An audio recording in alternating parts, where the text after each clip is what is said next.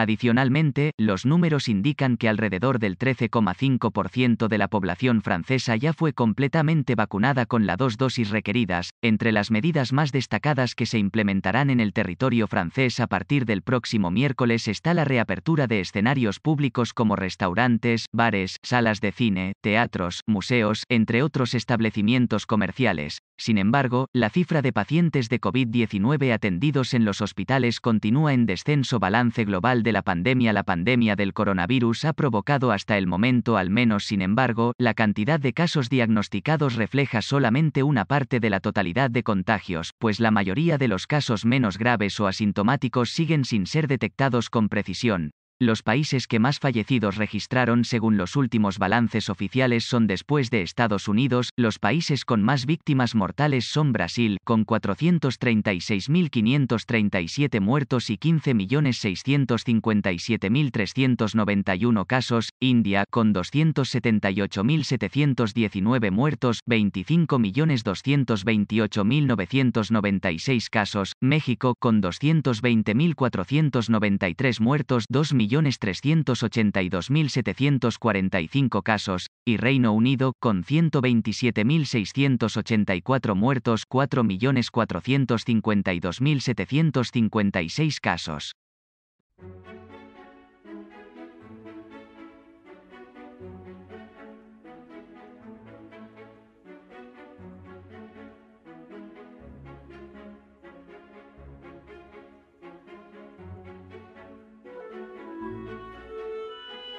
Thank